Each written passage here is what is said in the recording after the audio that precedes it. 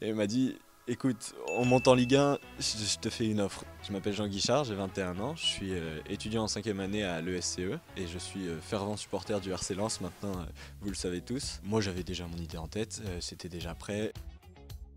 Le CV était en train d'être imprimé sur mon drapeau. On me disait Ah, mais tu vas jamais trouver. En plus, tu cherches du sport, c'est bouché. S'il y a 2-3 offres qui arrivent pour moi, c'est génial, c'est déjà bien.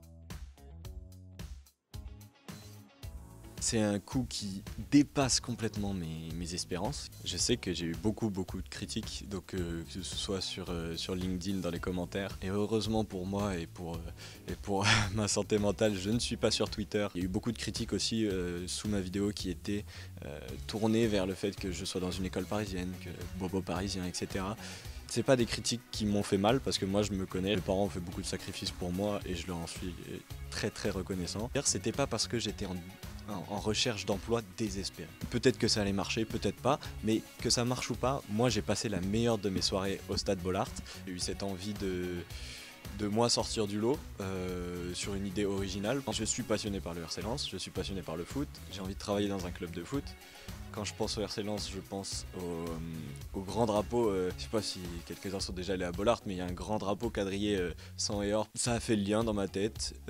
un drapeau, je cherche un emploi, un CV. Pendant, disons, 12 mois, oui, ça a continué à travailler dans ma tête. Je pense l'avoir fait au bon moment. Je les remercie parce qu'ils m'ont contacté dès le premier jour dans le monde du foot, dans le monde du sport, etc. Il y a toute une histoire aussi de, timing que, je respecte et que je comprends bien. Le directeur général euh, délégué du Paris FC, Fabrice Hérault, que je salue, euh, avec qui on s'est très très bien entendu, m'a directement contacté juste après la sortie de ma vidéo et, m'a dit écoute, on monte en Ligue 1, je, te fais une offre. J'ai beaucoup été contacté par, euh, des, par des équipementiers.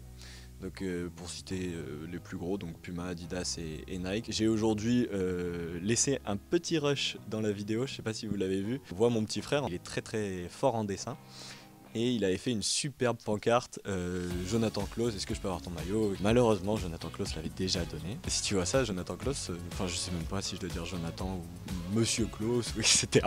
Ou le, futur, euh, le futur joueur de, l'équipe de France, je l'espère. Je pense que André, mon petit frère, serait très très très heureux d'avoir ton maillot. Mon petit frère, il rêve de soit de te rencontrer, soit d'avoir un petit maillot, un petit souvenir qui qui, retrace cette superbe soirée. Toujours très gênant devant, euh, juste tout seul.